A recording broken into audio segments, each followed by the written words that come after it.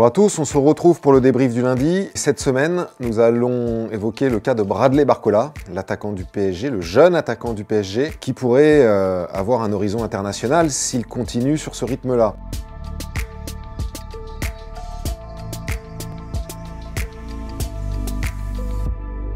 Il part de loin, et on a vu hier contre Lyon qu'il aimait partir de loin, que ça faisait souvent des dégâts. Pour aller en équipe de France, pour faire partie de la liste des 23 de Didier Deschamps, il a quelques handicaps à surmonter. Si Bradley Barcola n'a pas été retenu au mois de mars, c'est d'abord parce qu'il n'a pas su euh, être régulier dans ses performances. Il a été très bon, il a fait des très grands matchs, notamment en Ligue des Champions, mais il a eu du mal à enchaîner. Cette fois, Bradley Barcola enchaîne.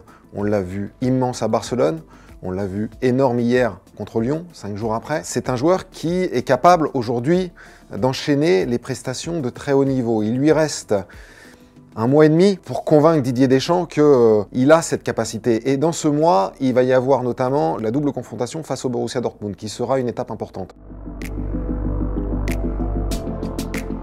L'autre euh, argument qui faisait qu'il n'était pas pris au mois de mars, c'est la logique de groupe. Didier Deschamps aime prendre des joueurs qu'il connaît bien, qu'il a eu sous ses ordres, qu'il a vu évoluer sur une durée euh, assez longue euh, en stage, lors des stages avec les Bleus, ce qui n'est pas le cas encore de Bradley Barcola, ce qui est le cas de Moussa Diaby. C'est pour ça que Moussa Diaby a été rappelé alors que Kingsley Coman était blessé. En mai, il se peut que Kingsley Coman doive encore déclarer forfait parce qu'il s'est de nouveau blessé. Qui de Moussa Diaby ou de Bradley Barcola le remplacera. La tendance, la légère tendance euh, s'oriente vers le joueur d'Aston Villa parce que Deschamps le connaît, mais euh, on a le sentiment, vu de Paris, que Barcola est tout doucement en train de grignoter son retard sur Moussa Diaby. Moussa Diaby a marqué hier avec Aston Villa, mais il reste quand même sur des performances en dents avec son club. Barcola n'a pas marqué, mais il est impliqué sur trois buts. C'est vrai que la feuille de stats de Bradley Barcola euh, n'est pas euh, hyper brillante. Euh, ça ne saute pas forcément aux yeux, mais elle ne reflète pas, elle ne témoigne pas très bien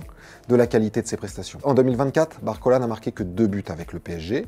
3 sur toute la saison. Il est aussi à 8 passes décisives au total, dont 5 en championnat. Mais combien de buts ont été marqués parce que lui avait provoqué le déséquilibre initial? Contre Lyon hier, il y en a eu au moins 3.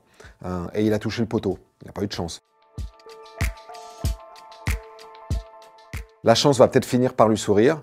Euh, il ne faut pas qu'il renonce. Il peut réussir ce que, à ma connaissance, aucun joueur français n'a encore réussi. Être dans la première liste de Deschamps sans avoir été appelé avant. Ce fut le cas de Karim Benzema lors de l'Euro 2021, mais Deschamps connaissait Karim Benzema, il l'avait déjà eu. Ce fut le cas aussi de Schneiderlin, de Morgan Schneiderlin en, 2014 ou d'Axel Dizazi en 2022, mais c'était des joueurs qui ont été appelés pour pallier des blessures. Cette fois, Barcola peut, à sa manière, marquer l'histoire de l'ère des champs en étant le premier joueur à être convoqué sans avoir été appelé avant.